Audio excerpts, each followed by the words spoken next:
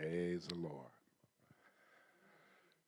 First, I want to give reverence to the Father, to King Jesus, to the Holy Spirit, to Philip and Sharon. Let's give them a big hand clap, can we? And to all of you who are physically present, and those of you who are watching online.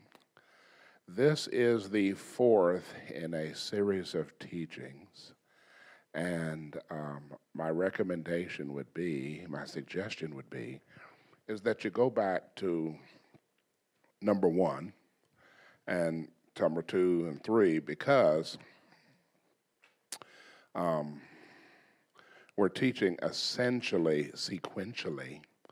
And uh, whatever we teach in this particular session um, follows um, what we've teaching, what we have taught previously.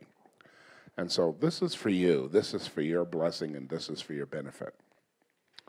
And uh, so, if if it's all right with you, I want to uh, mention a, a, number of scriptures uh, in the Hebrew Songbook, uh, Psalm 103, verse seven.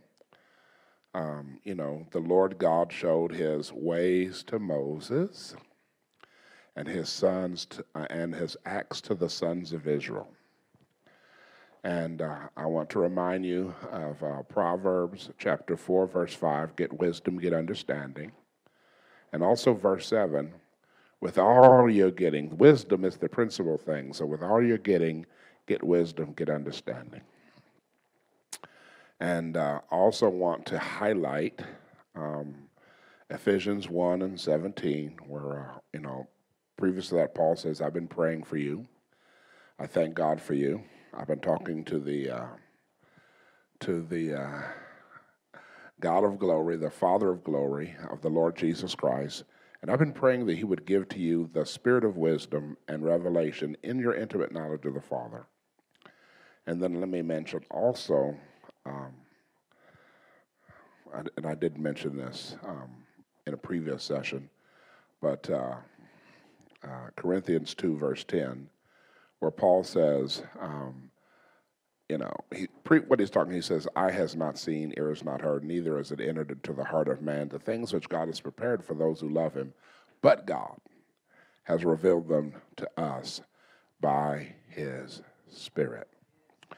And so, I believe it was in the last session I talked about being caught up to heaven, and I talked about. Uh, being uh, brought into this place where there was an angel with a scroll, and one of the things that was written on the scroll was this that the watch of the Lord is a key to the intelligence of the Spirit and the ability to interpret the will of God.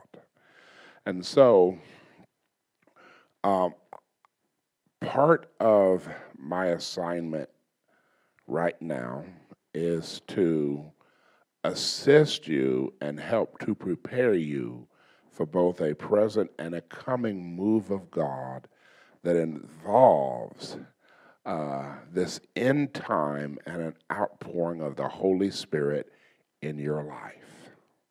And so, um, with that thought in mind, uh, I've mentioned those scriptures, and I'm going to mention some others if I may, and uh, I tend to, um, how shall I say this, put some teachings in my phone. And uh, so I'm going to uh, start with my phone. And I'm going to uh, reference Matthew 13, verse 11, where Jesus answers and he says, now notice this phrase to you it has been given. To know the mysteries or the secrets of the kingdom of heaven. Interesting. It's been given to you to know. Interesting. Let's look at this phrase again because it pops up again. 1 Corinthians 12 and 7. To each it has been given the manifestation of the Spirit for common good. It's given to you to know the mysteries, to know the secrets of the dominion of heaven, and it's given to you to know or to experience the manifestation of the Spirit. Interesting. Then, John chapter 3, verse 27, um, John the prophet, the forerunner of Jesus, says this A man can receive nothing except it is given to him from heaven. Very, very interesting. And then you have Romans 8:32. He gave us his son. Will he not also freely give us all things? And so there is so much more that has been given, perhaps, than we have accessed. Now, if I can make you think for just a moment, um, I want to mention this scripture. And this is from the book of Jeremiah 6 16. And this is what the Lord says Stand at the crossroads and look.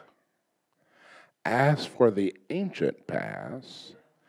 Ask where the good way is and walk in it.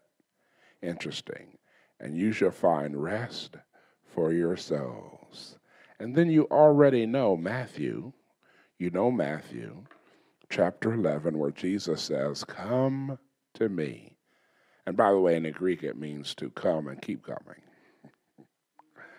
come to me, all you that are burdened and weighed down, right? And I will give you rest. Then he says, Take my yoke upon you and learn of me.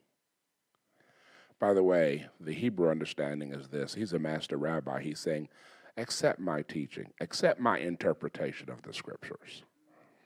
Take my yoke upon you and learn of me.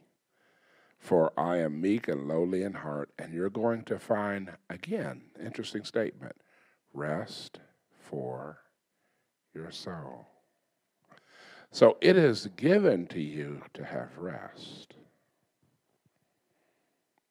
And so, in the outpouring of the Holy Spirit, and when you uh, walk in supernatural or navigational intelligence, God's going to lead you into rest.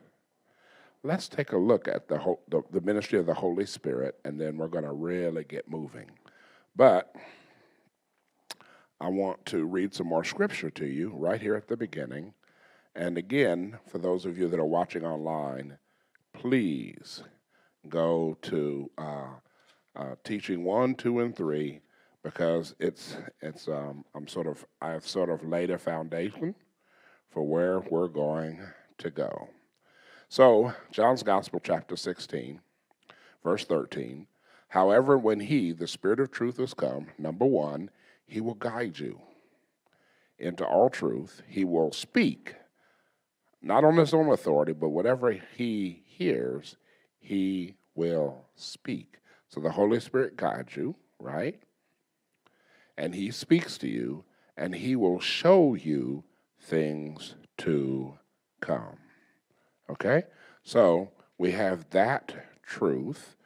And then we also have this truth of Jesus, where he talks about the Holy Spirit and he says in verse 26 of chapter 14, uh, but the Helper, the Parakletos, the Holy Spirit, whom the Father will send to you in my nature, in my name, he will teach you all things and bring to your remembrance all the things I have said to you. And of course, you already know Romans 8, where it says, As many as are led by the Spirit of God, they are the sons of God. So you're guided by the Holy Spirit, you're led by the Holy Spirit. The Holy Spirit speaks to you, the Holy Spirit shows you things to come. So you're led by the Spirit, you're guided by the Spirit. The Holy Spirit speaks to you, and the Holy Spirit shows you things to come. Now, remember, um, there is a relationship between the manifestation of the outpouring of the Spirit, the glory of God, and navigational intelligence. Okay? So now I can start.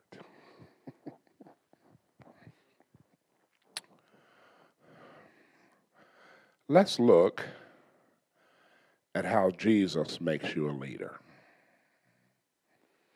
And um, because in the last session we were talking about mapping.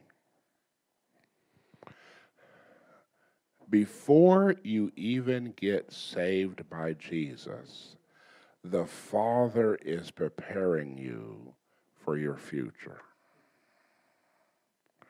You actually have a pre salvation preparation. Now, again, I want to say this. I realize that there will be those of you that are here now, and those of you that are watching online, you are really veterans in the army of the Lord. And so, some things that I'm going to say, probably many things I'm going to say, you already know. But the way in which it's articulated may um, stir your heart or stir your mind so the Holy Spirit can give you further revelation around and in what I'm saying to you. Okay? So as you're listening to what I am sharing, also be listening to the Holy Spirit. He may highlight something for you at this point in time for you to teach, for you to father and mother the disciples, the sons and daughters that that um, that Jesus has placed under your care. So you have pre-salvation preparation. Number, that's number one. Number two, you have discipleship to Jesus. Okay? You come to Jesus and you keep coming to Jesus and you take Jesus' yoke. It's very interesting because the, uh, the history of that what Jesus is saying is that they would take a young ox and hook him up to an old ox, and the old ox had the strength.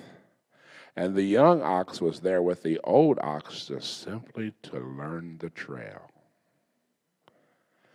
And how it would work is if the old ox decided that he wanted to move forward, but the young ox decided he didn't want to, the learning progress, process would begin, particularly around the young ox's neck. And if the old ox wanted to go right and the young ox wanted to go left, the young ox would learn when the old ox goes right, you go with the flow. And Jesus said, Take my yoke upon you and learn of me. So you're to walk with Jesus while he does the work. And this is a key to rest. And this is relational learning with Jesus. So you become like Jesus, meek and lowly in heart, and, and, and, and, and you rest. I, I say this this is discipleship. Then, for those of you uh, who understand that every one of us is called to be a minister, regardless of our vocation, step three is the call of God recognizing the call of God upon your life. Now, Apostle Sharon talked about this being equipping meetings. So I have to recognize the call of God on my life. And so, you know, how it started, I got saved at like 16. And, you know, it's funny, you know, the book of uh, Philippians, and God talks to you where you're at. Okay? The book of Philippians says God works in you, giving you both the desire and the ability to do his good pleasure. And I remember after I got saved, filled with the Holy Spirit, somebody was preaching, and I just all of a sudden had a desire to preach. God just put it in my heart. Now, you got to understand, Before I got saved, I didn't go to church. Mm-mm. I'm going to go on Easter and I'm going to go on Christmas. Otherwise, don't bother me. I ain't going to church. I have no interest. And don't talk to me about going to church because you know I had demons and you don't want to stir them up because I might get violent. So you better have a whole lot of Jesus. And so then uh, eventually I got saved and I got delivered from demons. I got filled with the Holy Spirit. And so God put this desire in my heart. Now we're talking progressive revelation. And so then one day I remember I was at a meeting and this woman points her finger at me and says, God has a work for you to do. Well, that's all the revelation I could receive because that's where I was at. And then I was at another meeting, a tent meeting, and I remember this guy saying, um, I have, he's prophesying, he says, I have found your heart seeking your God, you should be my servant. So the revelation's continuing. Okay, so God's got a work for me to do. I'm supposed to be a servant. And then somebody else prophesies. this is so funny. Um, I'm calling you to a ministry you know not of. Apparently, I always need humility. But when you enter that ministry, the Spirit of the Lord is going to move you mightily. Okay? So now I know I'm called into the ministry. I got confirmation, right? Right? The general call. Right? Then, after the general call, you have the discovery of the gifts that go along with that call. Was that number four? You should write that down.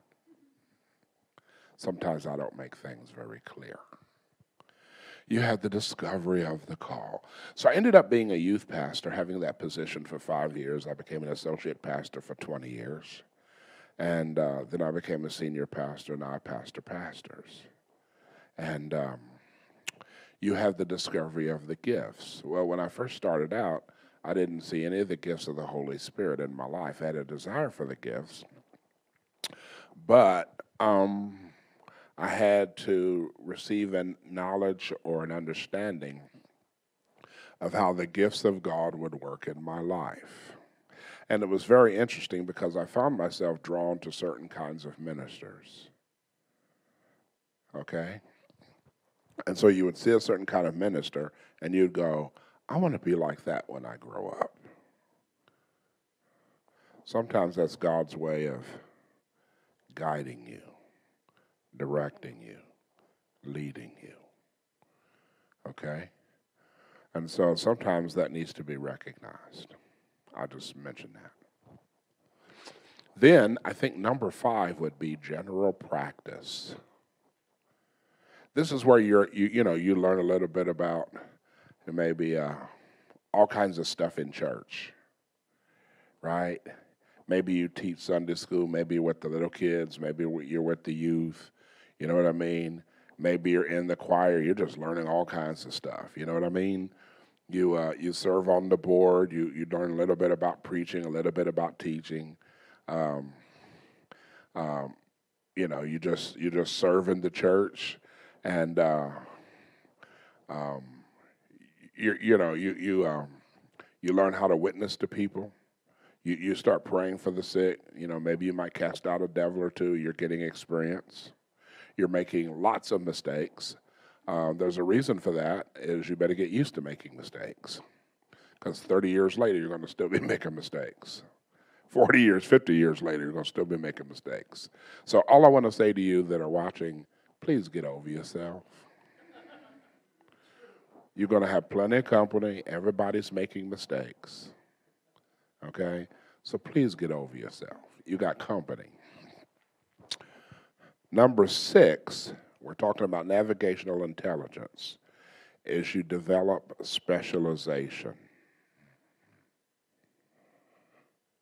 You get really good if God calls you into specialization at something. Just like in the medical field, you will have a physician who is a general practitioner, and then you will have a surgeon, and then you will have a brain surgeon, then you will have a heart surgeon, right? You have a dentist, right?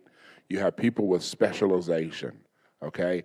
You have a psychiatrist. There's, there's, you know how to do, you know, you're a, uh, you start out maybe a jack of all trades, but a master of none, but now you're developing various degrees of mastery um, in ministry, okay? And so, um, one of the things that happened to me when I was very young is I went to bed and I had a vision. And in the vision, I had a belly. And I knew I had to be old because I was prejudiced against all fluffy people. I was an athlete. I was actually I was a star athlete, and so um, I had judged all fluffy people. However, once I became fluffy, I reversed my judgments. That's a whole nother story. I love fluffy people now.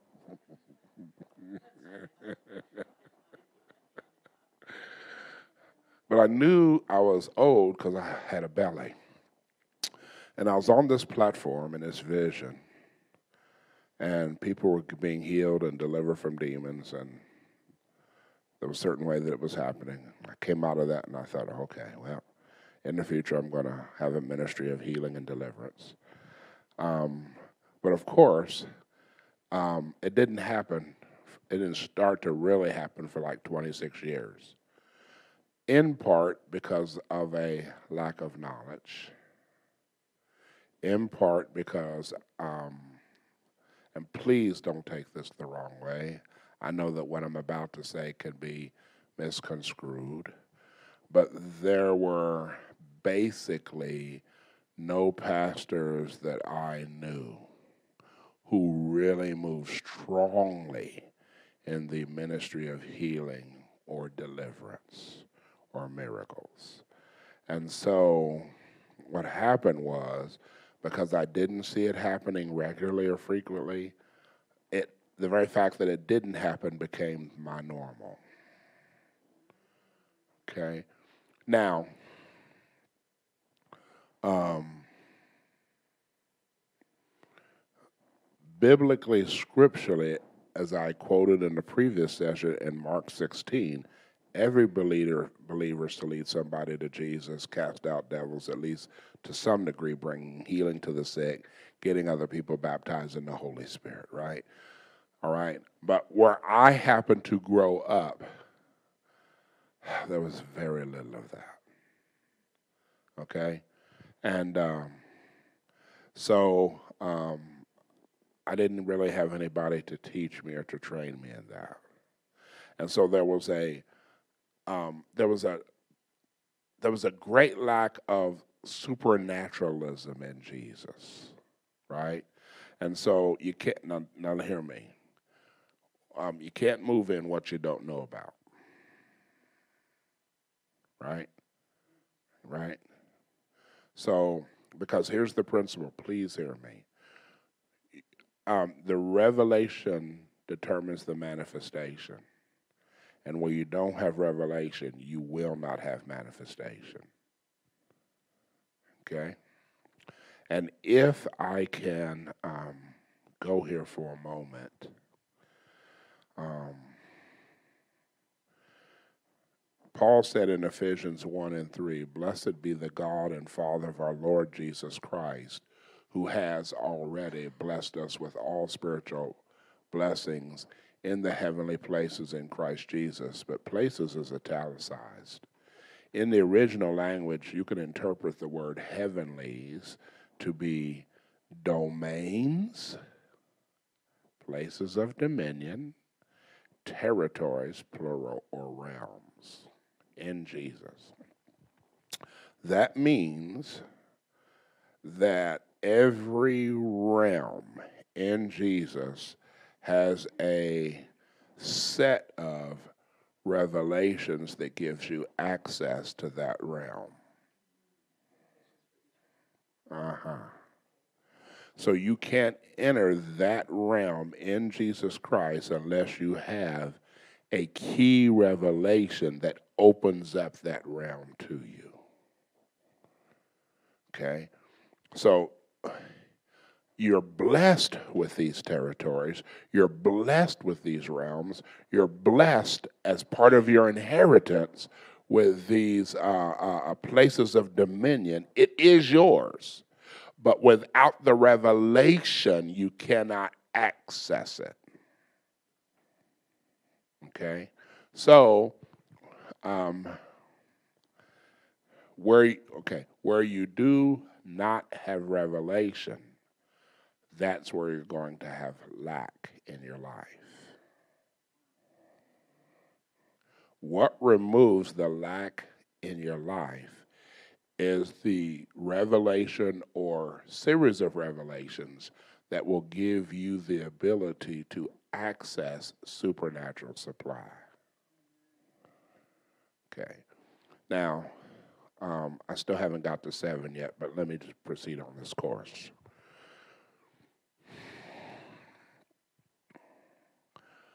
The realm that you sacrifice for becomes the realm of your supply.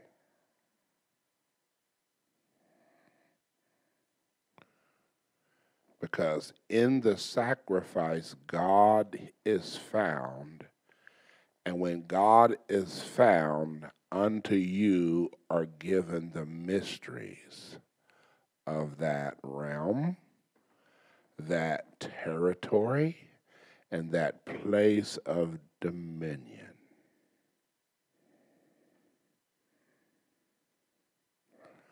And unto you the manifestation or the Greek word phaneros, which means that God does something visibly for the good of others. But you got to have a revelation to break open that manifestation. With Jesus, freely all things are given to you. It's your inheritance. Like Ephesians 1 and 11 says, in Christ you have obtained, it's already yours, an inheritance. The struggle that I had for so many years is I did not have a relationship with anyone.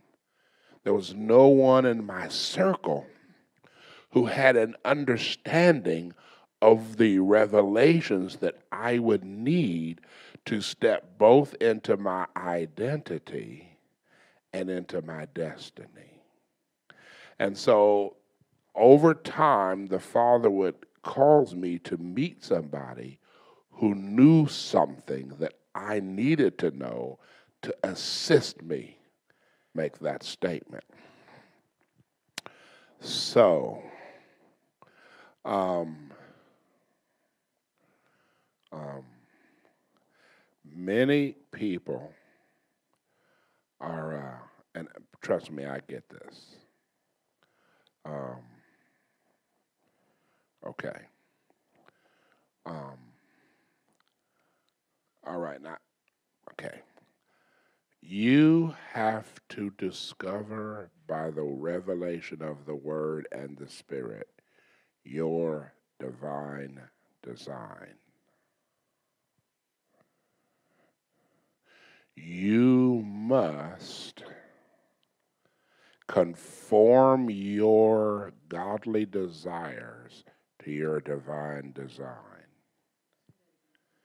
You must conform your divine desires to your godly and holy design. Because when you conform your godly desires to your holy design, then God delivers to you his goods. When you desire something outside of your design, you're going to be discouraged. You're going to be disappointed. You're going to be frustrated. I was never called to be a musician. I would love to be able to play on that keyboard and sing. It's a really good daydream.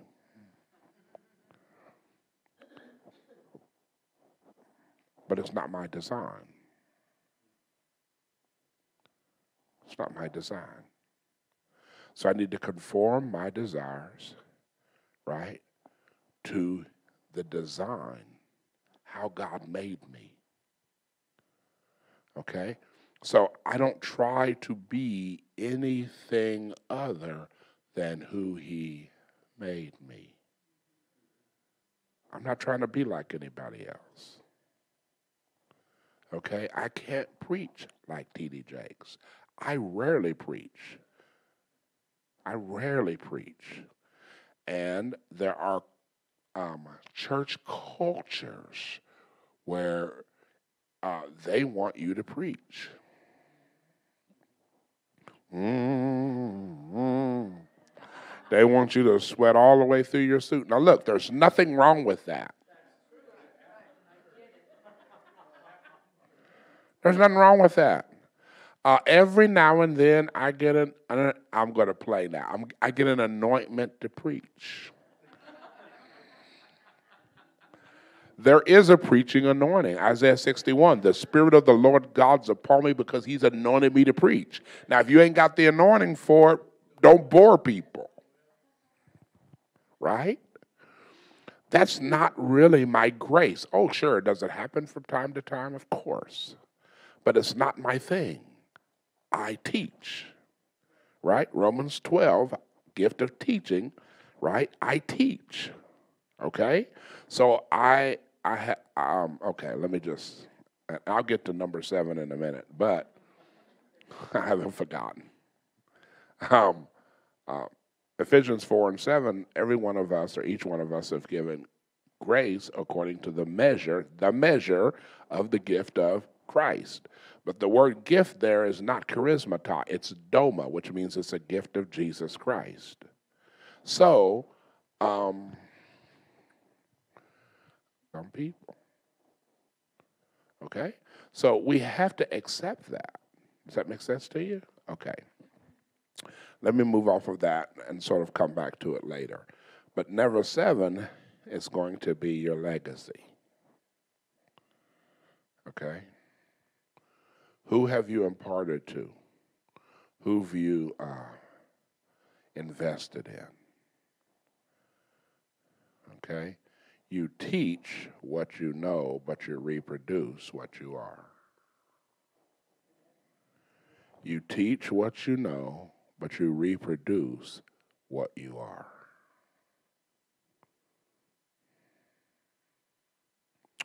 Now, I'm, I'm sure that um, nearly all of us are familiar with the story of Elijah and Elisha. And um, Elijah is at the cave, and he's told by God to find Elisha. And when he finds him, and you can go back and read the references yourself, he's plowing with 12 yoke of oxen. Oxen. I mean his his plow. Yeah, he just he just in other words, he was able to die to what was he was able to let go of the old and embrace the new thing God is doing. And you know, that's probably one of the most difficult things to do. I mean, Isaiah, what is it, 43, 18, 19 says, you know, stop remembering recent things. Don't, don't, don't put it in your mind about remote things. Uh, look, I'm doing a new thing and now it's springing forth. Man, that's so uncomfortable. Okay? It's unfamiliar, and we fear what's unfamiliar because it can't be predicted. Okay? And um, that's why you have to have navigational intelligence.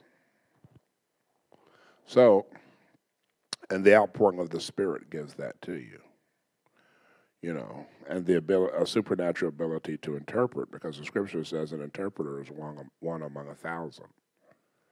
So, um, then it has been said, I don't know that this is exactly true, but it's been said that Elisha um, served Elijah for about 10 years and did, quote, women's work. Now, maybe that's true, maybe it's not true. Has anybody heard something different? Is it 15 years, 20 years? Does anybody know? It was a long time. Okay? So, this is where people also have their struggle. We want to um, we want to microwave our way into the ministry. Okay? Just give me an, an, an impartation without me having to pay the price. Okay? No, you need to be a crock pot. Not a crack pot, a crock pot. You need you need to be marinated. Right? You need a slow cook. Ah, okay, I'm gonna leave that alone.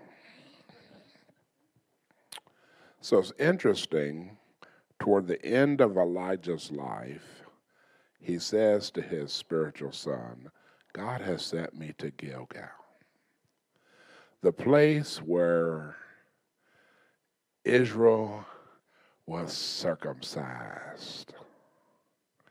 The old way of the flesh is cut away.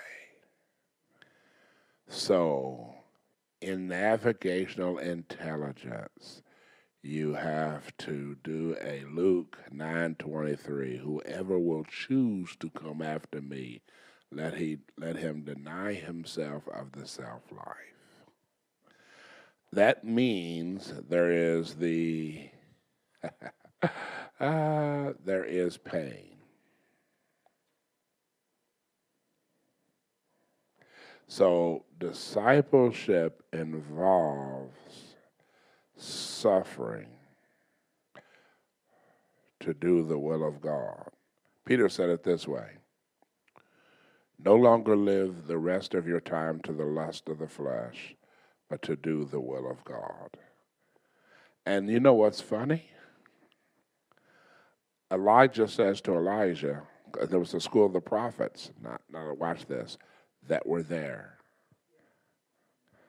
They got circumcised in heart and mind, and the way of the flesh was cut away.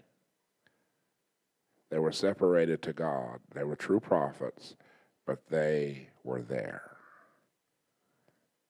And Elijah says to Elisha, Stay here. And he said, I'm not staying here. I'm going on. Right? And then he says, Watch this. The Lord, and the Bible says the two went on. Hosea the prophet said, Then shall we know if we follow on to know the Lord. Then it says, His going forth is prepared like the morning. You know, it just gradually happens. He will come to you now as the former and the latter rain outpouring. The Lord has sent me to Bethel, oh, the house of God, the place of the altar because Abraham built an altar to the Lord at Bethel. By the way, I'll just mess with you. This is the same place at Bethel where Jacob sees the stairway to heaven. And notice this now. Go back and read Genesis 28. The angels were not descending, ascending, they were ascending, descending. And at the top of the stairway to heaven, the Lord is there. Why? Because Abraham had opened up a portal there. So Bethel is the place of the presence of God. That's why Jacob said, The Lord was in this place, but I didn't know it. So sometimes what we do is we pursue the manifest presence of God and we get happy and we do what? We stay there. And so, and they get to Jericho. Jericho is a place of tremendous spiritual warfare. But it's all the, also the place of supernatural breakthrough. Yeah. So sometimes we get really happy with supernatural breakthroughs. And he says, Why don't you stay right here? He said, As your soul lives, as I live, I am not leaving you. And so then they go to Jordan, the place where you descend and die to yourself. Whoever will come after me, let him deny himself, take up his cross, and follow me. And they cross the Jordan. And then Elijah has this to say Ask what you want. And he says, I want my inheritance. Let a double portion, watch this, not of the Holy Spirit, but of your Spirit be upon me. You've asked a hard thing. Nevertheless, if you see me when I go, it shall be so. If you don't see me, it shall not be so. Actually, when you really read it, it means if you see eye to eye with me. Now that's interesting because in 2 Kings 2 it says God is going to take Elijah by a whirlwind, which begs the question why did God also send a chariot of fire that separated them? I would have missed God at this point. Because when that chariot of fire would have came down, I would have quit looking at my teacher. If you maintain eye contact with me. Because I would have said, Whoo, you see that chariot of fire, the horses of fire? But Elijah and Elisha he kept the, the, the disciple kept his eyes on the teacher. Yeah, did he recognize the chariot of fire and the horses of fire? But he kept his eyes on the teacher. And when that chariot came back around and picked his, his, his teacher up, his teacher also kept his eyes on his student or his disciple. And then he said, when he got in the air, he said, You have passed the test. And he drops the mantle. And then Oh, well, what's the real lesson? What if I was to tell you that the final test is to be able to move in the supernatural without being distracted by it? And keeping your eyes on the teacher, Jesus.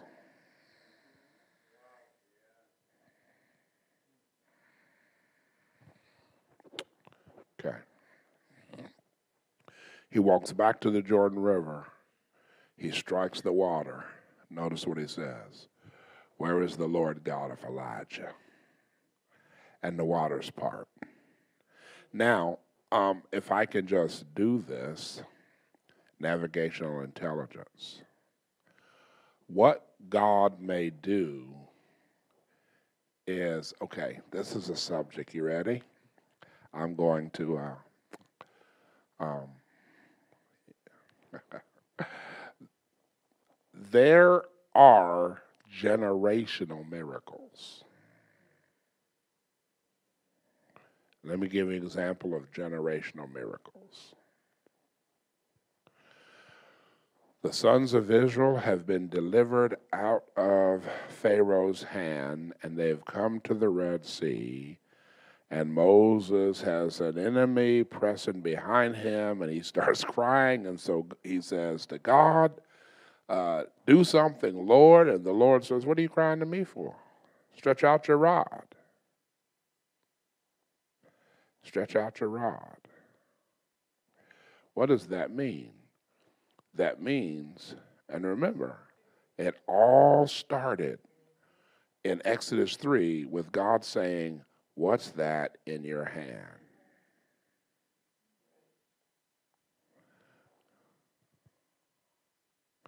So when Moses submits something natural to the Almighty God, it becomes supernatural. What if I was to say to you, the miracle's already in your hand? You just need an instruction to bring the manifestation.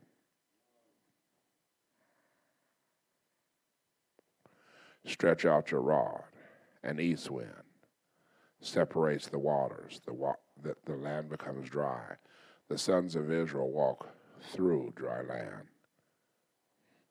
I'll just mention this. This is interesting. It's the Egyptians had been killing, had been killing the male babies in the Nile River.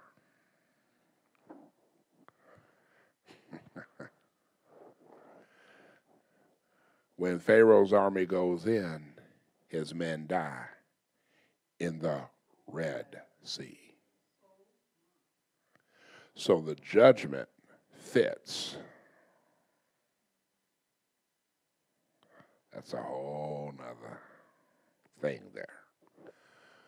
But but the but the sea parts, the land becomes dry, and then they, and the revelation of wisdom, the re, the spirit of wisdom and revelation comes through the relationship and through the service.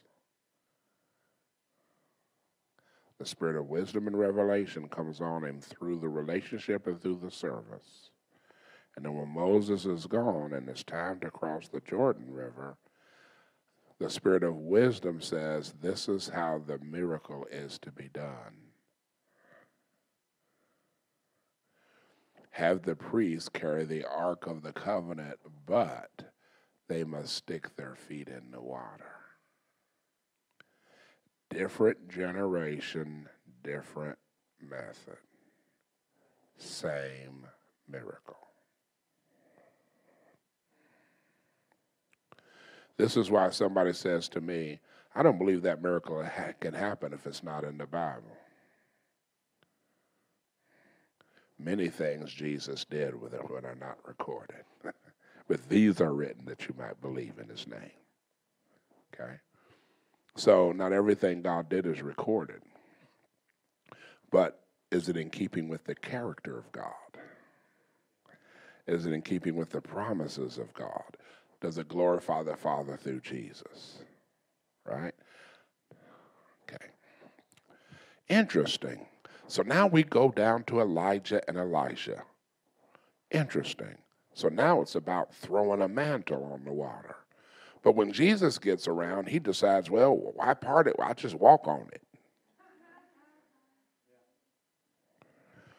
Okay. What am I saying to you? There are miracles reserved for this day that you may not have a reference point for in terms of how. But through your intimacy with God, you have the spirit of wisdom and revelation. Because, with regards to miracles, the key to miracles, because it's not the gift of miracles, it's the working of miracles. You got to have the wisdom to be able to do the work. That's why in, in Mark, this is the question where did Jesus get this wisdom from that these mighty works were done by his hands? And the Bible says he could do no mighty work there except he laid his hands on a few sick folk and healed them. But when it says sick folk, the Greek word there means people that are like invalids. So if the healing of invalids and Jesus could do no mighty work, okay. Jesus is healing invalids. And it's not even called a mighty work. Pray tell me what's a mighty work? They're raised up off the bed of affliction, and it ain't even called mighty. Oh yeah, I know. This will make you think. Just, just, this will make you think. So, like in Romans, uh, Romans, 1 Corinthians 12, it talks about the gift of the working of miracles. Then it says something really, really interesting, right? In Acts 3, um, a man who had never walked for 40 years uh, Peter says, you know, I don't have any silver or gold to give you, but such as I have, you got to have it to give. Okay, in the nature of Jesus in the character of Jesus, rise up and walk. Now, notice the, how he administrates the miracle. Okay, I'm talking to you about navigational intelligence and manifestations of the outpouring of the Spirit and the glory. He has to grab him, he has to lift him up, and a man's feet and ankle bones get strong. Okay. Then he walks. In chapter 4, if you read, after you read chapter 3, if you read chapter 4, this is what the religious leaders say. We can't speak against it because it is evident to all in Jerusalem that a noteworthy miracle has been done. So the lame walking is called a noteworthy miracle. But when you reference Jesus, he says, when John, the forerunner's in prison, go tell John what things you see and hear. The blind see, noteworthy miracle. The deaf hear, noteworthy miracle. The lame walk, noteworthy miracle. The lepers are cleansed, noteworthy miracle. The dead are raised to life, a noteworthy miracle. It's a separate category rather than just the working of miracles. But you got to have a revelation. Galatians. He who ministers to you the Spirit and works miracles among you. Does he do it by the works of the law or by the hearing of faith? hearing of faith. He hears how to do it. Then in Acts 6 and 8, it says, Stephen, this wonderful deacon, did great signs and wonders. In the Greek, it means a miracle. Great is mega. So I don't know if that's many miracles or beyond just regular miracles and beyond noteworthy miracles, big miracles. I like big miracles. And then it says that Paul did, okay, well, I should mention this. Then there is another category, I named it because it's my teaching, I can name it if I want. There's another category called sovereign miracles. Sovereign miracles are miracles that God just does because He's in the mood, and you, it requires no faith on your part. None. He just decides I'm to do it. You know, it's interesting. Remember, remember when the, there was the funeral at Nain, and Jesus stops the funeral. He never asked the woman if she can believe. He never says a word. He just says, "You know what? You've lost your husband. You lost your only son. You're going to be totally destitute." Uh, the father, you know, this is interesting because um, like in Matthew 14 and 14, it says Jesus had compassion and he healed their sick. And the scripture says he had compassion on her. But the word compassion there is not agape, it's an entirely different word. And the best way to translate that word is um, love erupts and overflows. And so when he saw her situation, the love the compassion, the love of the Father erupted so that he had to do something in her behalf. And that's how her son got raised back to life. Now, this happens all the time. Let me show you how this happens. Probably anybody who's listening to me now knows somebody who was in a car accident where the car was totaled and they walked out. Sometimes with not even a scratch, and sometimes with some scratches. Sometimes they should have been dead, but they're coming out of it. Right? And we know what's happened to both saints and sinners.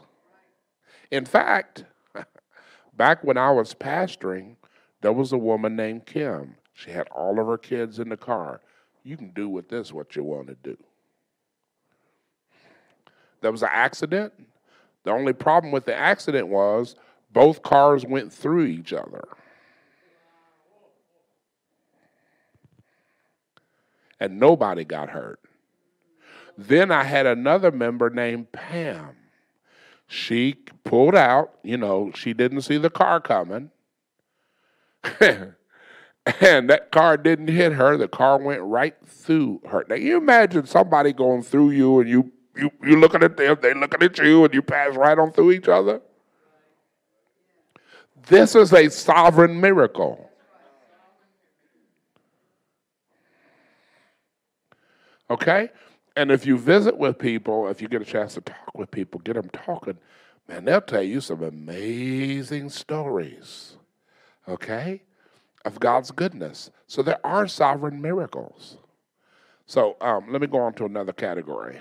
And this is a category I want to really break down in the Greek text. So I'm going to take my time to break it down. Um, in the book of Acts, chapter 19. Oh, yeah. I mean, yeah. Yeah. I mean, it's not the kind of miracle I want to have to experience. But, you know, I'll take it.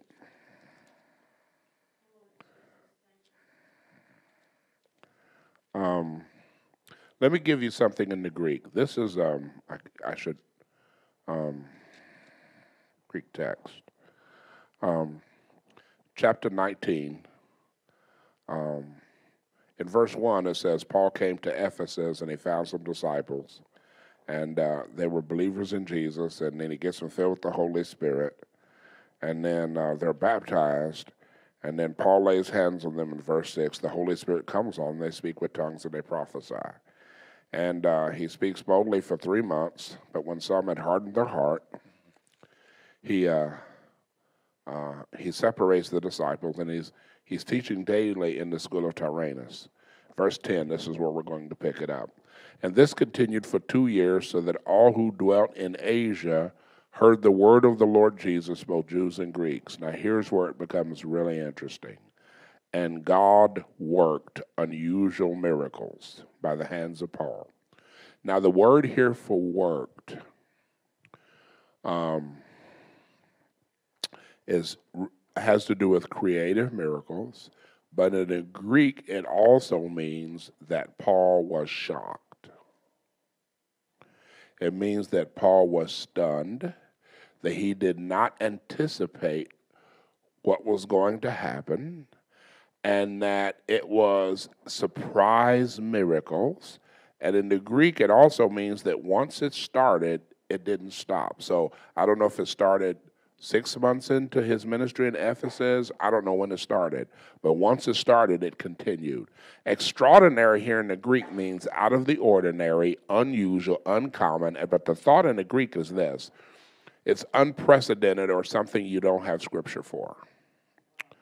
So that even handkerchiefs and aprons, actually in the Greek, this is um, headbands and belts. But it's like it's funny how history, because people people use handkerchiefs handkerchiefs as headbands now, and aprons you wear around your waist, belts that even handkerchiefs and aprons or headbands and belts were brought from his body to the sick, and diseases left them. Now, we're when we're talking about sick here, we're talking about people that are too sick to go out.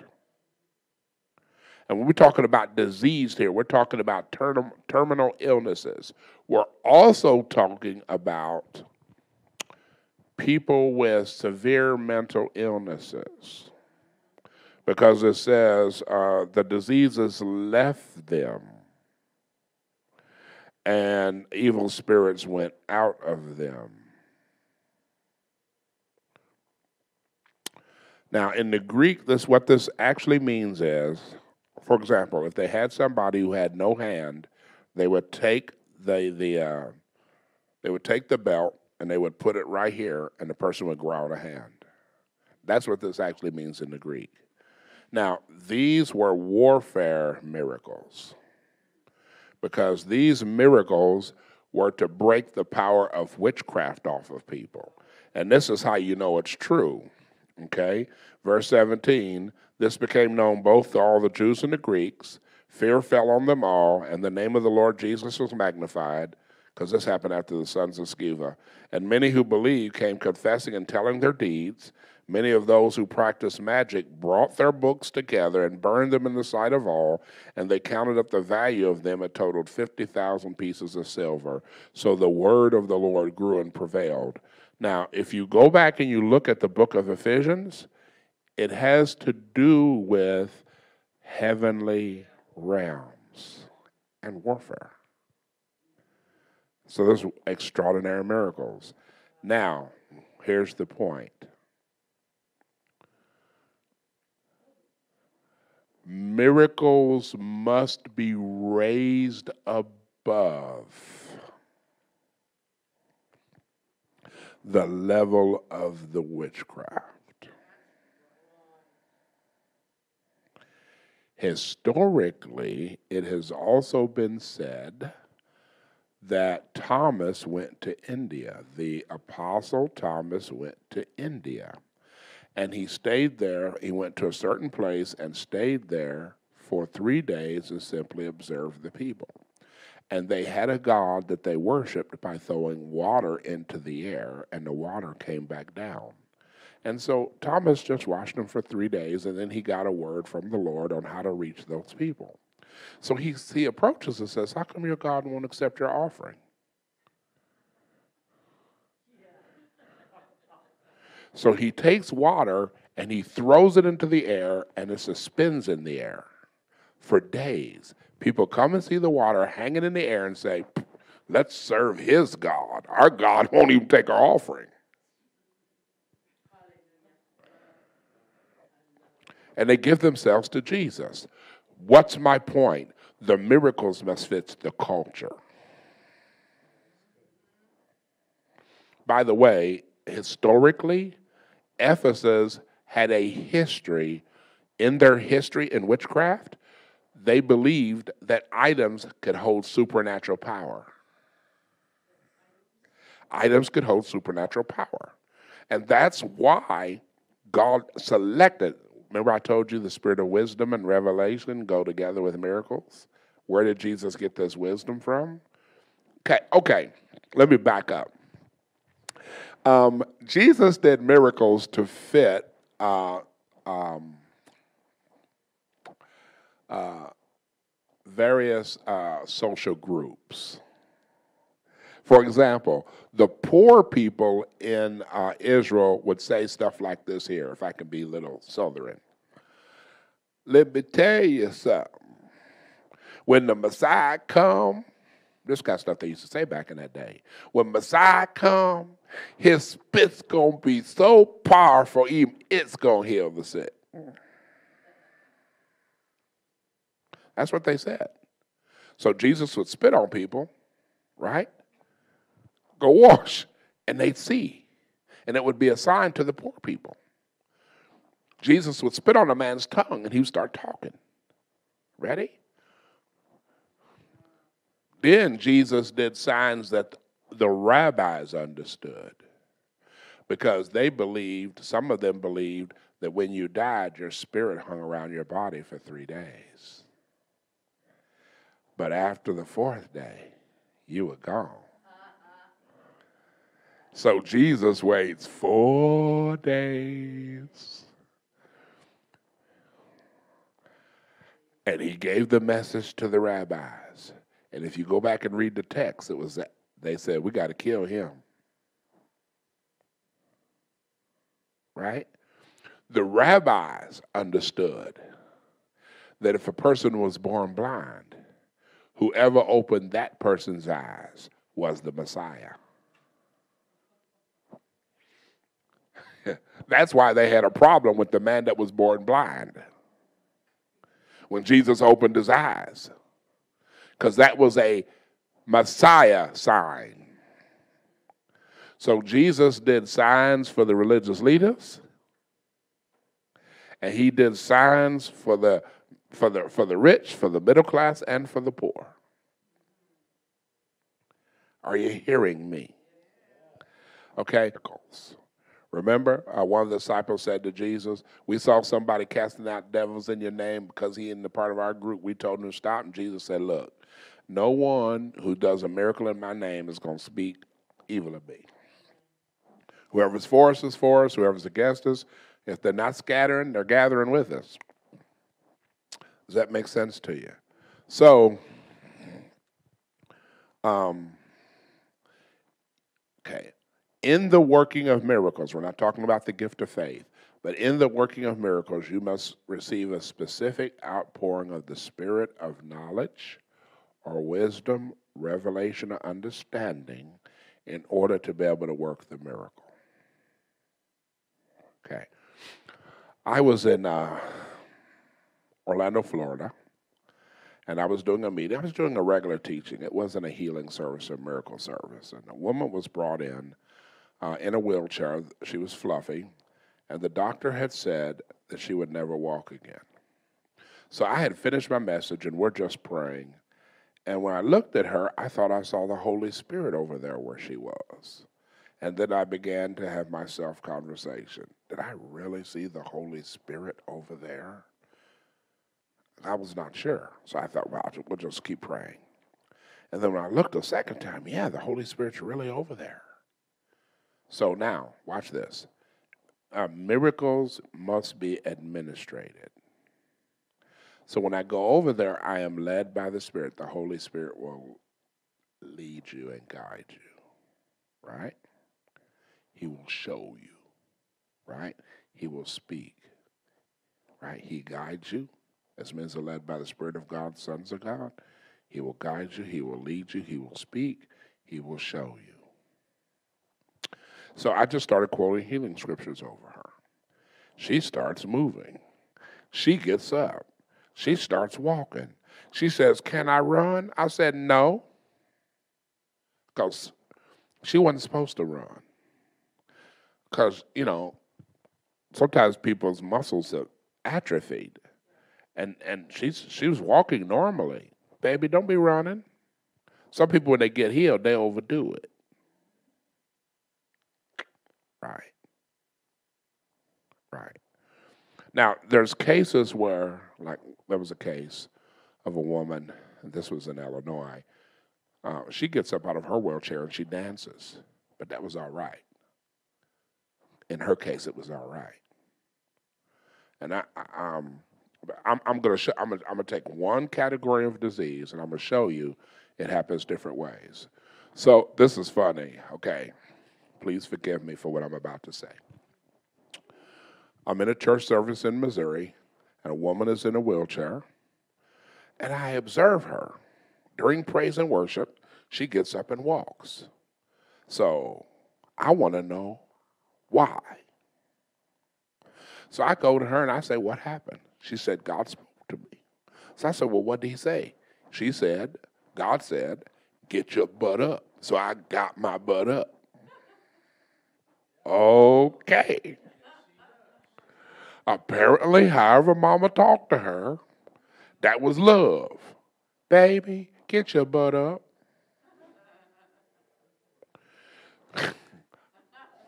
God talks to you according to your culture, but he still remains holy.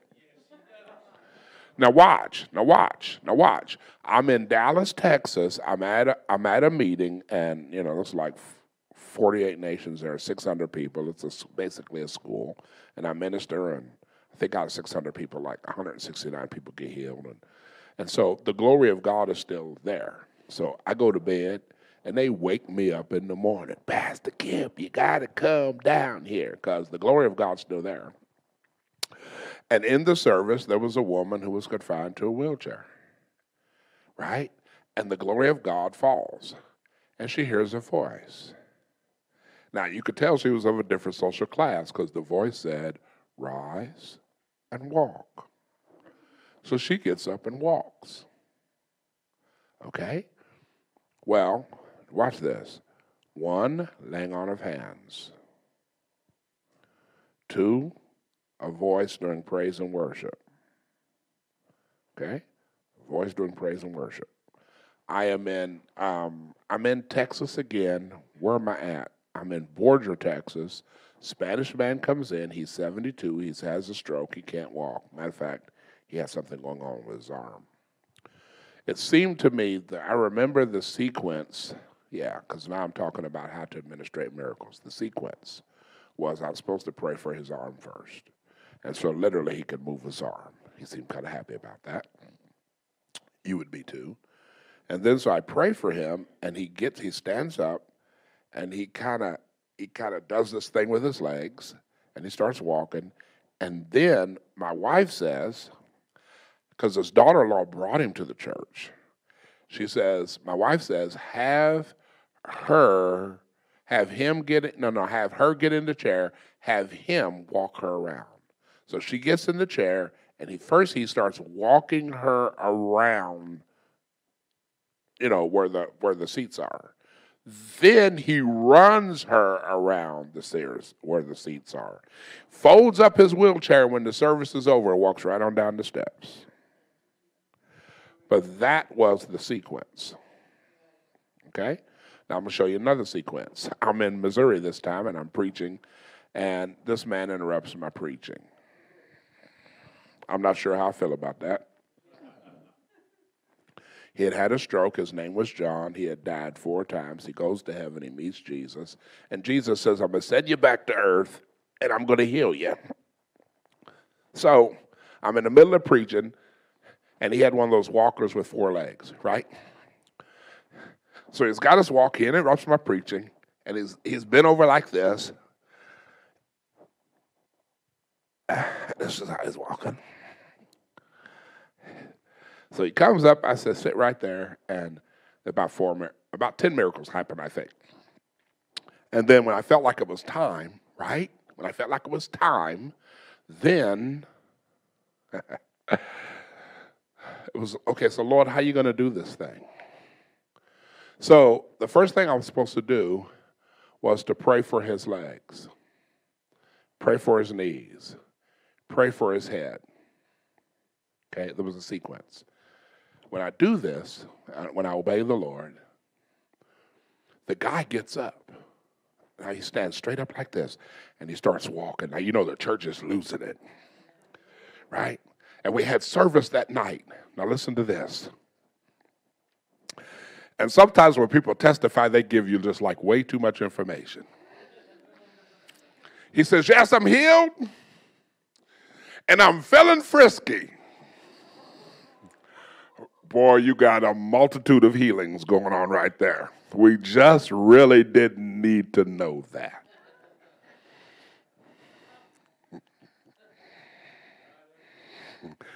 Yeah. My point being, the Lord can fix you.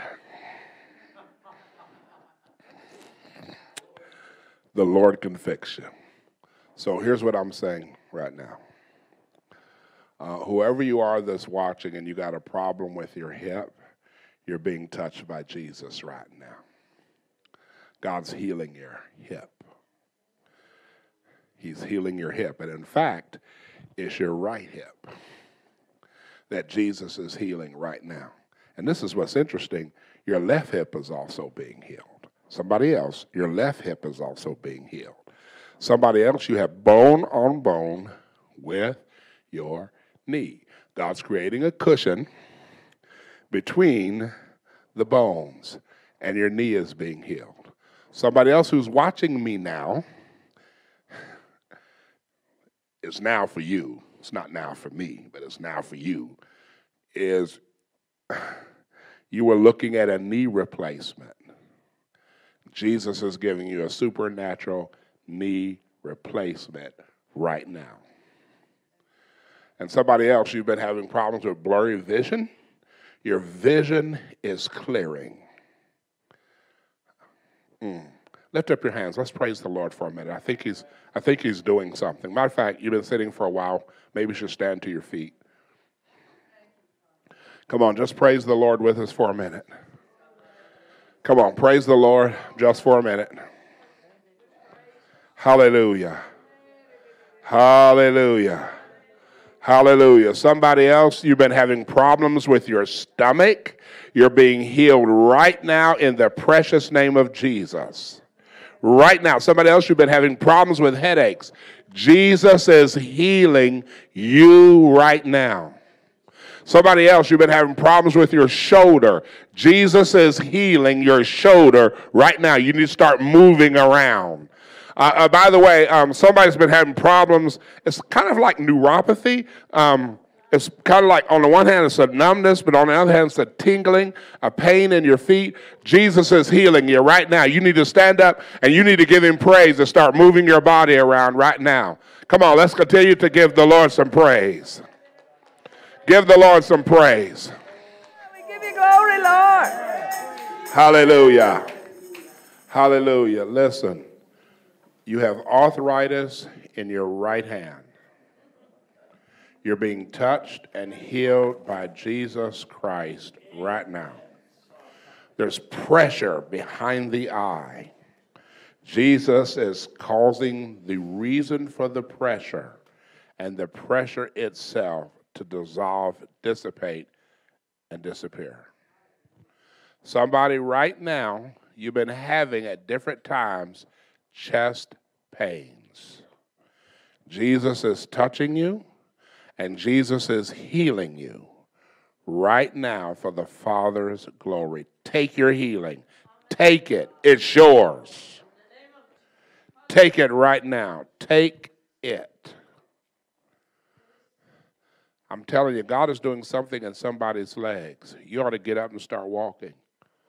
I said, He's doing something in your back, your hips, your legs. Get up and start moving. Jesus is touching you right now. Hallelujah, hallelujah. Yeah, I know you've been thinking about a hip replacement. And yeah, there's somebody's watching me. You actually had a hip replacement. But Jesus is touching you and healing you.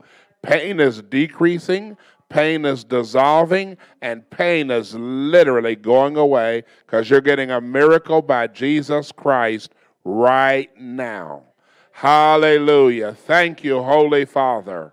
Thank you, Holy Father. Thank you, Holy Father.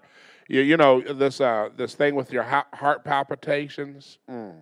you're, you're going to have a regular heartbeat. God's healing your heart that micro uh, valve prolapse, the God's touching and God's healing right now.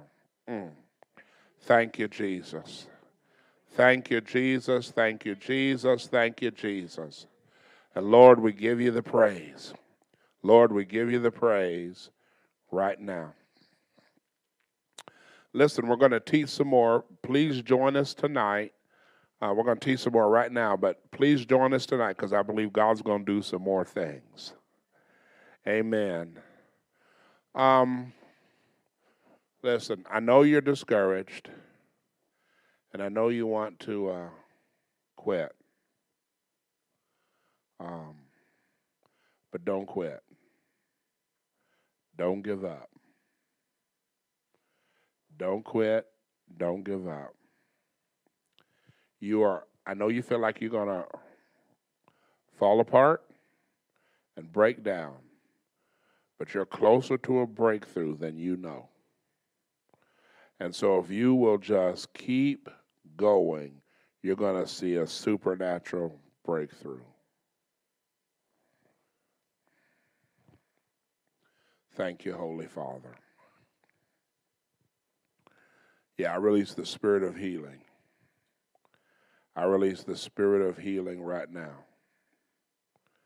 And I thank you for it, Holy Father. I thank you for it, Holy Father. Um, you're being healed of a bladder control problem because of Jesus.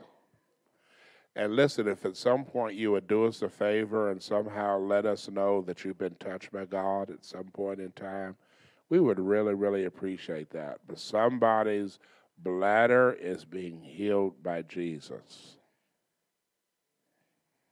and Jesus is healing your kidney. Somebody, whoever that's for. I even see the word kidney failure. Jesus is, it's, it's like he's giving you a new kidney, or it's like it's a restart. He's doing something new. Okay? Jesus is doing it for you. Thank you, Holy Father. Thank you, Holy Father. Thank you, Holy Father. Thank you, Holy Father. You know, um, when I was teaching, you were able to relate to this vision of having a healing ministry. It hasn't come yet, but it's on its way. I just want to give you a word of confirmation. And uh, yes, you should look up some of the old great healing evangelists like A. A. Allen and just observe how what they share and how they move and how they minister because you're going to get a revelation and an impartation in that process. So, Father, I release the gifts of healings and the working of miracles in that person. Uh, listener, somebody, listen, you should do that 21 day fast. You should do it. The Lord is calling you to it. You've been debating, ah, is this me? Is this God? It's the Holy Spirit. Obey. You're going to see God do something as a result of it. Go ahead and do it because the Lord is calling you. And um, somebody else, the Lord is ca- calling you to actually partner with this ministry. I don't know how that all works. Yes, it's prayer. Yes, it's commitment. But yes, it's also being a financial blessing to the ministry. You should listen to the Holy Spirit. Um, you know, uh, God is going to answer your prayer with regards to Charles. Okay? So you're going to see the Lord do something there. Come on, lift up our hands and give God a praise. Thank you, Father. Thank you, Father. Thank you, Father. Yeah, start moving those feet. Yeah, start moving those legs. I'm telling you, Jesus is doing something for you right now. I thank you for it, Father. I thank you for it, Father. I thank you for it, Father.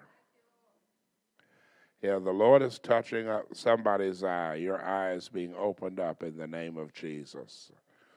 And you know, you really ought to have somebody check that deaf ear, have them whisper in your ear. You're going to find out that you can hear. Jesus is doing it for you right now. So, Holy Father, I give you the praise. Holy Father, I give you the praise. Listen, you should call friends, you should call neighbors, make sure at some point they watch this particularly those that are in need of healing. There's a cancer healing right now in the name of Jesus. And Father, I give you glory. Father, I give you glory. Father, I give you glory. Father, I give you glory. Father, I give you glory. Hallelujah. Hallelujah. Hallelujah. Hallelujah. Hallelujah. Hallelujah. Hallelujah. Hallelujah. Hallelujah. Hallelujah. Hallelujah. Thank you, Jesus. Thank you, Jesus. Thank you, Jesus. Thank you, Jesus.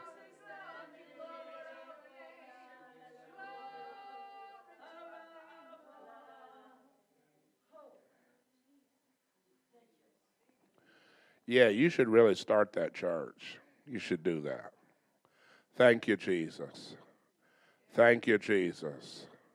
Thank you, Jesus. Thank you, Jesus.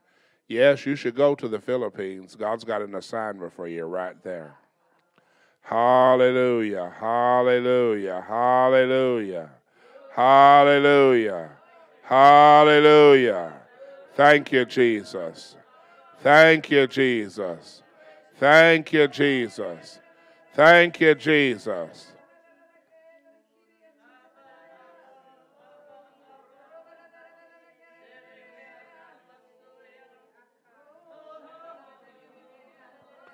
Listen, there are signs, wonders, and miracles just waiting for you in Nicaragua.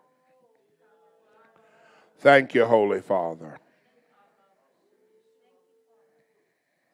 Praise the Lord. Hallelujah.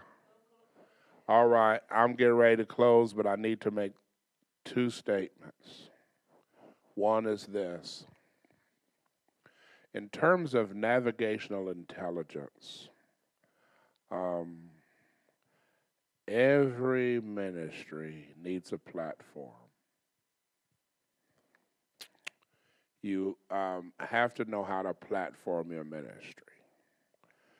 Um, here's let me say it to you like this when it was discovered that in the ocean there was oil, somebody said, How are we going to mine the wealth? And somebody said, I know, let's build a platform. And so you have to have the wisdom of God on how to platform your ministry. Let me give you an example. The Lord Jesus gives Sid Roth an idea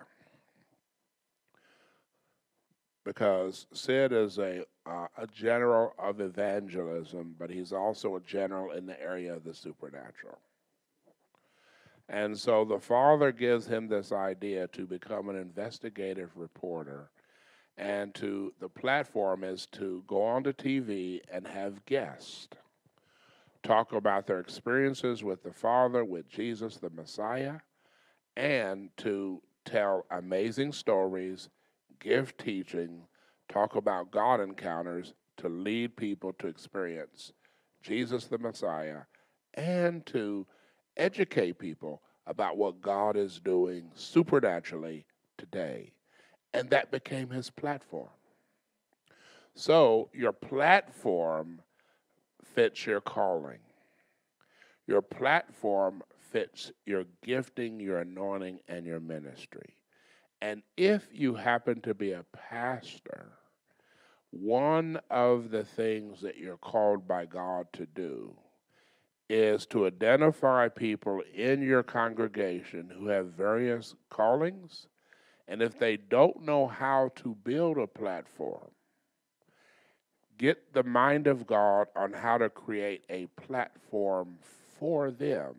It will actually expand and extend what God has called you to do. You get to father and mother them into their ministry. So every minister needs a platform. Here's the thing that platform must fit your personality. Okay? It must fit with your calling. And so part of navigational intelligence is is platforming. So, for example, I'm only here because of Gwen's initial platform. Philip and Sharon are here because of that platform. You're here because of that platform. So this is not a platform that I have created. It's a platform that's been provided so that I can do my part in equipping the saints for the work of the ministry. It is just as much a blessing for you to have your own platform as it is to platform others and to platform others as well as it is to have your own platform. So your platform could be as simple as sitting in the kitchen, having coffee with somebody, and ministering. It could be as simple as having a home meeting in your living room. Okay? It could be as simple as having a coffee house ministry. Your ministry could be in the mall. Do you hear what I'm saying to you? So it's what sort of platform are you supposed to have right now? Because let me tell you something once you get the platform right, God starts to manifest himself and pour out his spirit there.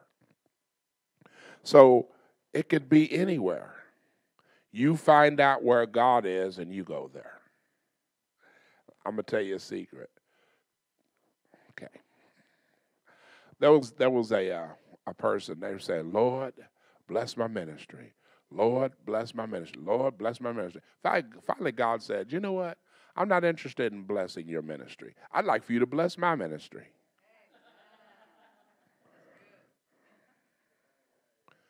So the question is, is who's this about? So find out where God's moving and go there right? And it might just be at your neighbor's house. you know what I mean?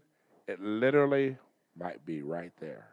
So when I'm talking about platforming, I'm talking about finding out where God is. Maybe He's just waiting. Okay, let me say this and then I'll close. I'm going to try to close. As soon as Elijah says to Ahab in 1 Kings 17, There'll be no rain or dew these years, but according to my word. God says, Turn eastward.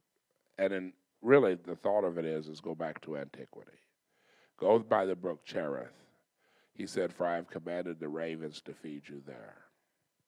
Okay, here's the key. God meets you in the place where he told you to be.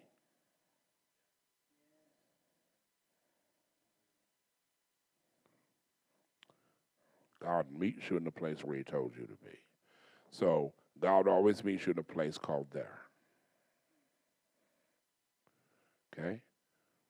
God says to the prophet, Go to Zarephath. I've commanded a widow woman to sustain you there. That's where you see the miracle of multiplication, in the place where God told you to be. I don't know how long that brother had to walk. I don't know how many miles from where he was to Zarephath. Was it 30 miles from where he was? Was it 50 miles from where he was? Was it 100 miles? Yeah, so, and the reason I'm saying that to you is because, to be honest with you, I think it was somewhere between 70 and 100 miles, depending upon where he was. You know what I mean? On the Jordan River when God spoke to him. See, so here's my point. Sometimes before the miracle, it may require some strenuous effort on your part to get where God is. And I know sometimes we want it to come easy. But to quote Ringo Starr, it don't come easy. I couldn't help myself. I just couldn't help myself. You know what I mean? It's okay. All I want to say is, while you're putting out this, the uh, that effort, God just wants to hold your hand. All right? Okay. I just couldn't help it. All right. So, Holy Father, we give you praise, we give you honor, we give you glory. In Jesus' name. Sharon, come. Oh, yeah, we can do questions. Yes. So. I, I have a question. Yes. Sharon has a question. Okay. Yes. My question is mm-hmm. I heard something about, and you just mentioned it, so that, mm-hmm. that really was a, a mm-hmm. okay. Tell us about mall ministry. Oh, mall ministry. Um, yeah, Hallelujah. I um, I have a thing called miracles at the mall.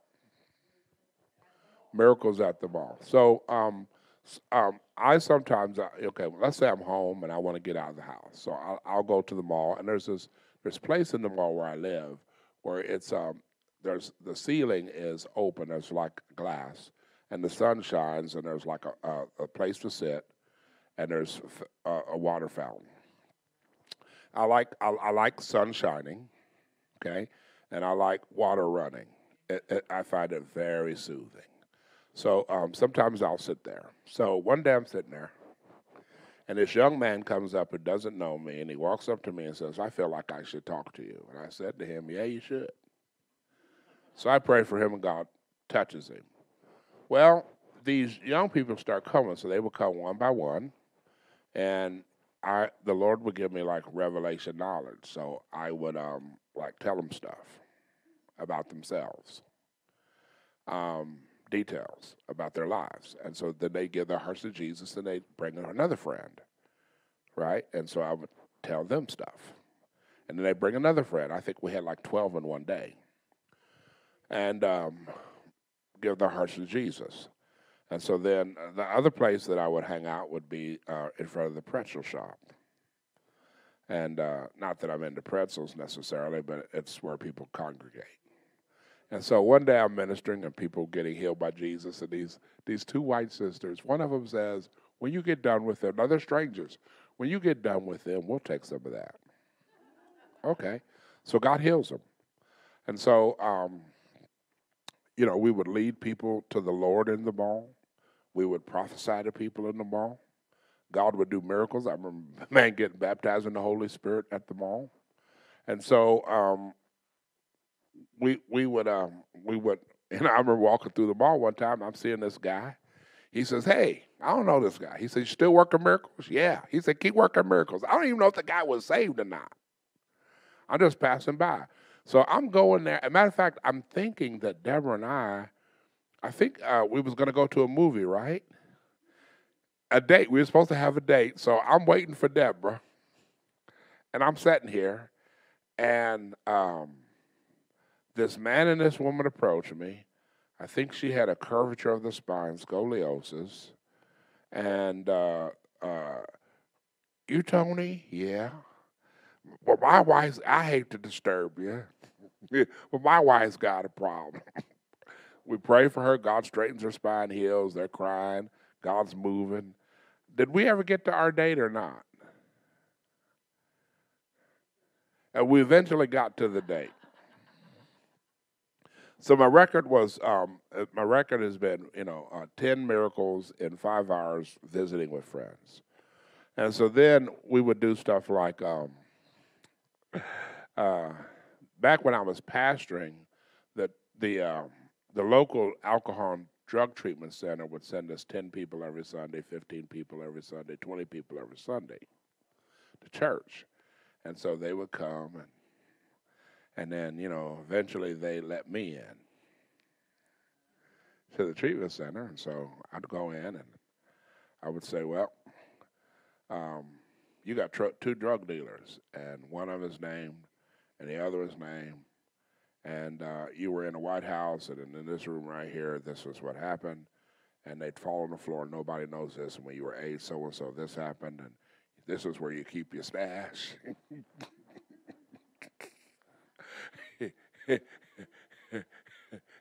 you just do a little bit of that. We we'd have like we have like thirty people get saved. Bam, bam, bam.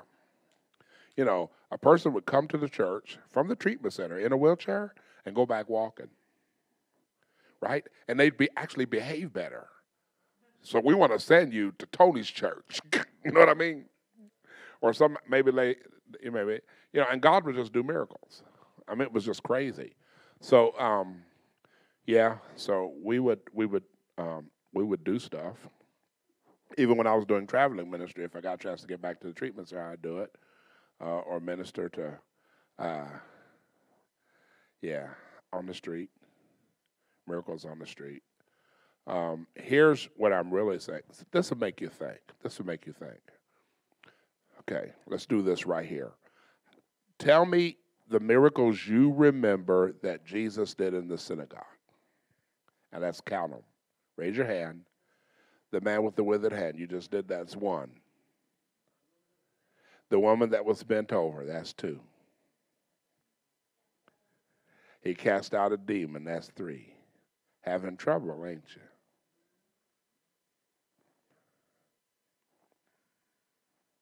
Having trouble, aren't you?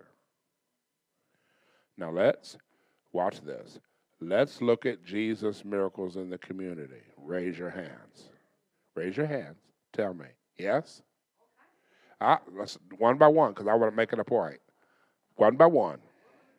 Woman with the issue of blood. Number two. Jairus' daughter. Number two. Yes? Healing of the leper and the lepers. Yes, sir? The demoniac. Yeah, yeah, yeah, yeah, that guy. Peter's wife's mother happened at the house. After that, she fixed him some food. It's good to have a healing ministry, right? Lazarus raised from the dead. Come on.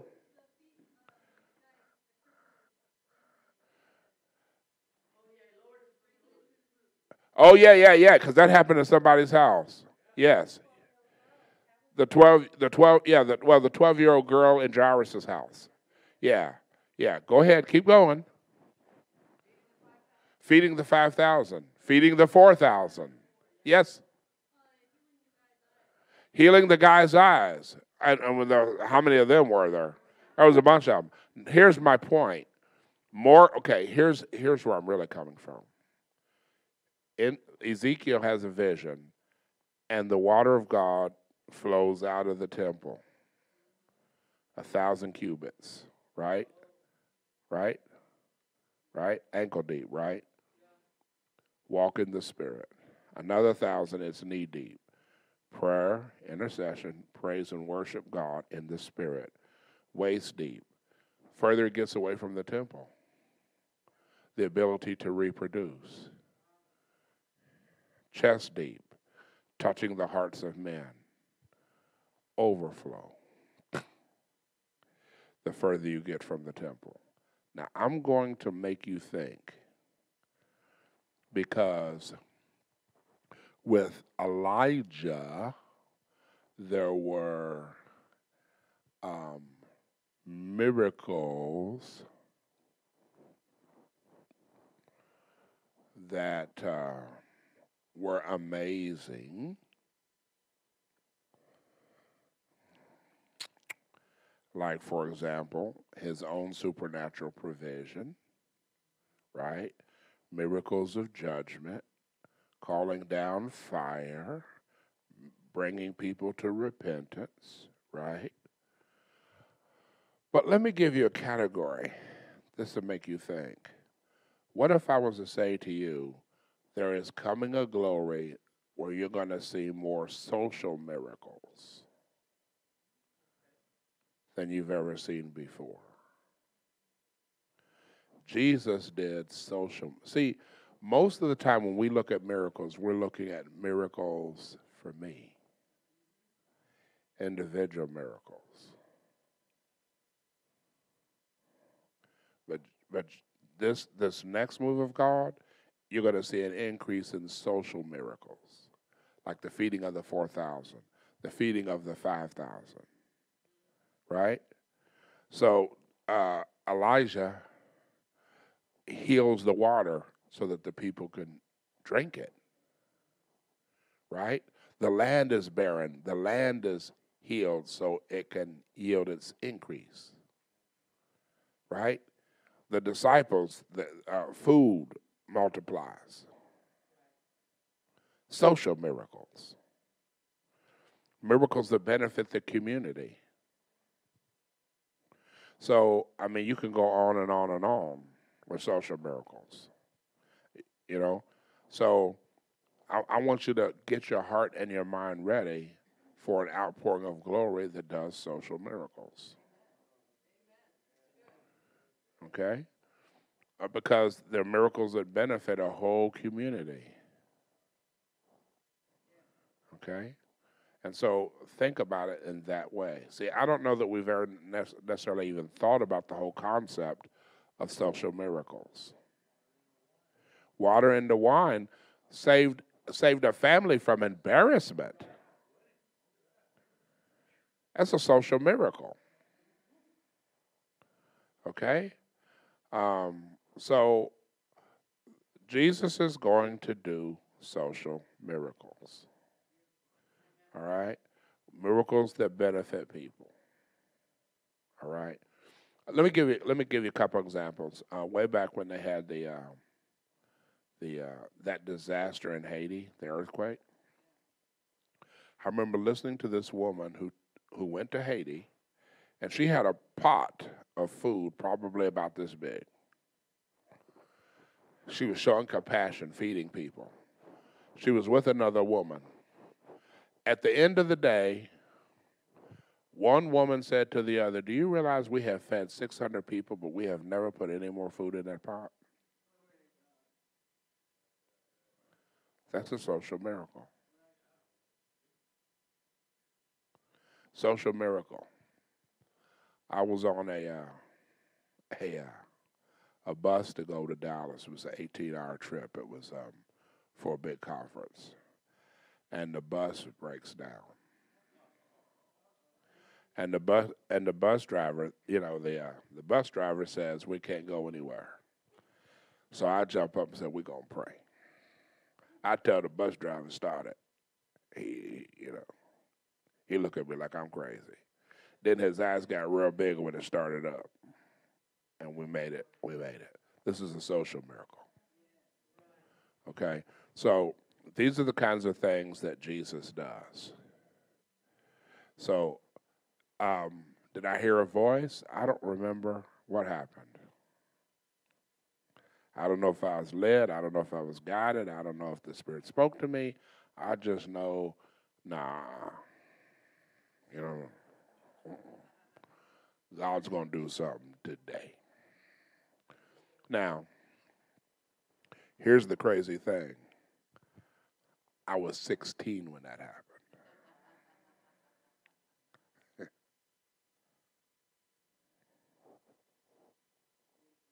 yeah. I had I would have these moments. Okay. So, Holy Father, we thank you. Bring every listener and every watcher, everyone who's watching. Lord, let the spirit of wisdom and revelation come into their life so that they can move in miracles. And Lord, all kinds of miracles regular miracles, noteworthy miracles, mega miracles, extraordinary miracles, generational miracles, sovereign miracles, deliverance miracles, and Father, release grace and glory for social miracles. In Jesus' name. And Father, we give you the praise. Amen. Was I supposed to do more questions? I guess I am, right? But it's noon. Yeah, let's do a couple, and then we'll, we can close because we started at nine thirty. So it's only two and a half hours. We can go a few more minutes, and we're gonna let you go. Anybody else got a question? Yes. Yeah. Yeah. Yeah. Um, a, a couple of days ago, before we started these meetings, you talked about, and maybe you're, maybe it's on the plan from the Holy Ghost, but you talked about frustration and anxiety. That when we were just talking together about how that needs to be dealt with. Yeah, I think we were more specifically talking about vexation. Oh, that's a word, yeah. Yeah, I'm gonna I'm gonna do that tonight. Tonight, okay, well, that, what, what's Um, let me just give you this introduction. You want to watch the next one because, among other things, I'm going to start teaching on how you can be set free from vexation. And um, vexation will get in the way of your personal progress. It will. Um, I'm going to talk about the spirit of vexation.